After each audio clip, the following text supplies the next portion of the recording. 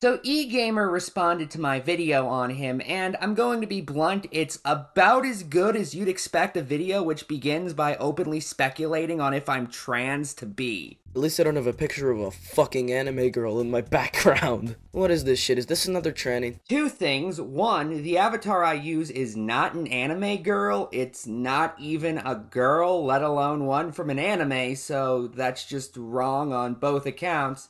And two, I'm not transgender. I don't know where you got that idea. Honestly, the main thing I want to point out about this video is despite its intention of, I assume, debunking me and making fun of me, eGamer actually agrees with me quite a lot throughout it. So you weren't talking about the quality of his videos, but you said he made bad videos.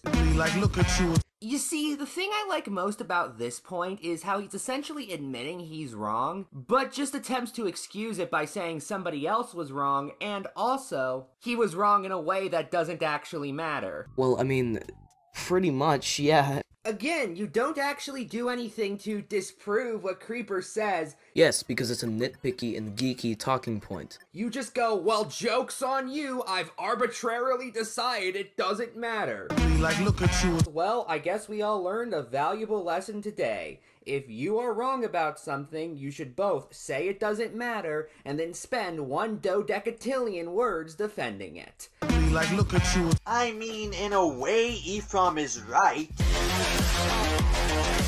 Of course, this is when he's not declaring that actually the video wasn't meant to be taken seriously and he just did it for attention. It's a little side insult that I did for comedic relief, which was the main point of my video. You could tell from my video that I wasn't actually trying to make a good case against Communist Creeper. I was just A, trying to get attention, and B, trying to make a funny video where I just fucked with him. Once again, I would like to stress, I made the video for attention, and I got a lot of attention for it, so thank you very much and I'm going to get even more attention by making this video.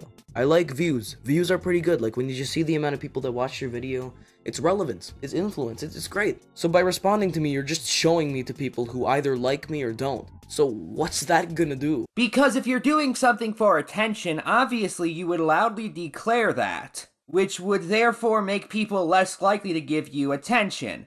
I'm just saying this seems like you're attempting to show yourself as so smart because you're out here playing 4D chess when you can't just admit you're bad at making arguments. And to end this video off, I'll discuss his argumentative skills. For a sample, remember how I said that he incorrectly said that Creeper's video on Matt Walsh was him calling Matt transphobic, when in actuality it was about asexuality? Well, here's how eGamer responded to that. It's still LGBTQ. All this LGBTQ stuff is pretty much the same shit. Yes, I know there's small differences in it, but talking about asexuality and talking about transgenderism, my criticism of him using pointless buzzwords and just using the same leftist mainstream mumbo jumbo still applies here. If you actually watch his video, it is essentially just calling him homophobic and just small gotcha moments where he uses buzzwords. So you have nothing to substantiate your claim, and the best retort you can get essentially comes down to moving the goalpost.